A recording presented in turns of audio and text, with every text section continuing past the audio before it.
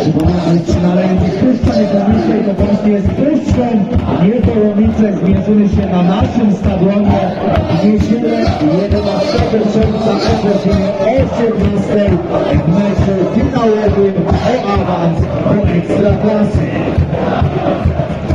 Francuski Górzen spotkał Lekcjoni w 19 minucie Wiktor Wierzycki oraz w 55 Borys Meszanowicz. Żeby nie zauważył, co w Polsce prowadzą